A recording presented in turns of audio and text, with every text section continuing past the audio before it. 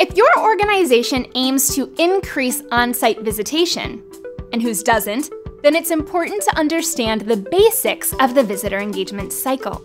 You're watching Know Your Own Bone Fast Facts for Cultural Executives. I'm Colleen Dilenschneider. Let's start here. In order to get someone in the door, then we need to know what motivates the visitation decision making process in the first place. With help from impacts in the discretionary decision making model informed by the National Awareness, Attitudes, and Usage Study, it's clear to see that reputation is a top five motivator for visitation.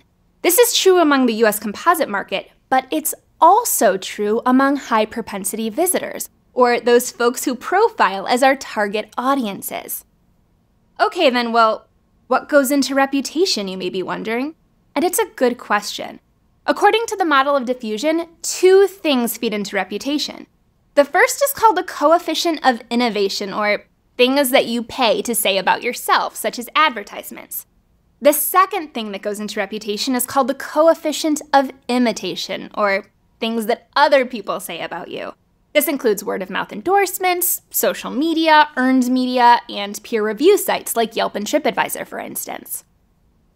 What others say about you is 12.85 times more important in driving your reputation than the things that you pay to say about yourself. So, yes, organizations need to market effectively, but more important than that, they benefit by communicating and facilitating the sharing of others' positive experiences and perceptions. When we connect with audiences off-site, we increase our reputation, and as we now know, reputation is a top motivator for visitation. So, now let's say that we've secured a visit and the visitor's there on site. Now what? The goal now is to increase visitor satisfaction. It may seem obvious, but high on site satisfaction values correlate with a greater intent to revisit during a shorter duration, as you can see in this data from impacts. When visitors have an on site experience that feels relevant to them, it increases satisfaction values and thus their likelihood to provide positive endorsements.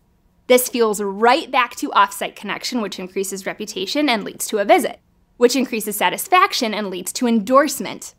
It's an ongoing cycle, and to get it right, organizations must aim for connective communications that increase their reputations, and relevant on site experiences that increase satisfaction. And now you're in the know. Thanks so much for watching. For more information, click on the link and check out Know Your Own Bone.